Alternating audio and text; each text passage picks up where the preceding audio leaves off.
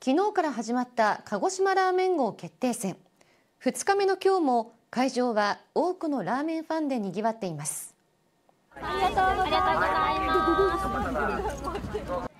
5年ぶりの開催となった鹿児島ラーメン号決定戦。